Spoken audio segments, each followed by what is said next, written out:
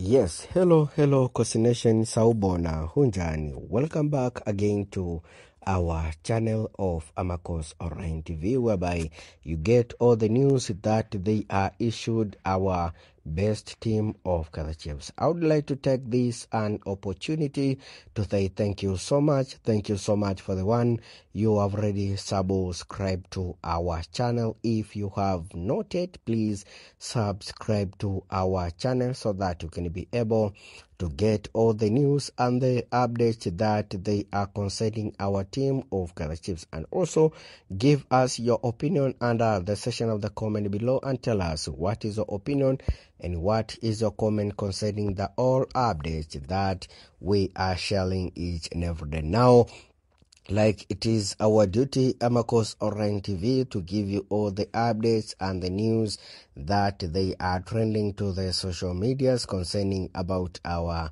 best club of Kaizer Now here to Amakhosi Online TV, you'll be able to receive the information that there might be rumors or they might be confirmed, but it is our duty to give you all the news that they are trending to the social media. So today we have the information concerning the upcoming new glamour boy at Naturena. We can see management of Kaizer Chiefs, they are trying hardly to make sure they are bringing they are bringing the best and the quality players that they will be able to come to fight for the badge of our club under uh, the new coach Nasreddine Nabi. Today, management of Kaizer Chiefs they said that they've already completed another new signing, whereby after going to Turkey, management of Kaizer Chiefs they'll be able to start announcing the new players and the new technical bench staffs under our best coach Nasreddine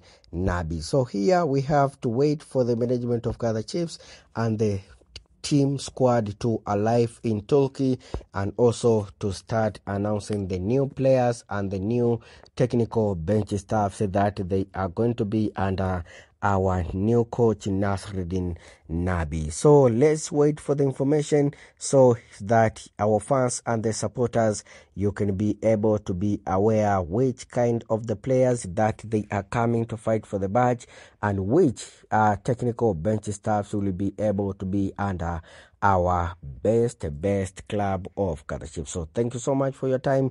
Thank you so much for being to Amakhosi Online TV whereby you get all the news and the updates that we are issue our best club of Kaizer So here you'll be able to receive the information that they are rumors or they are confirmed, but it is our duty and responsibilities to make sure our fans they are getting the all update. Thank you so much. Let's meet next time, and this is Amakhosi Online TV.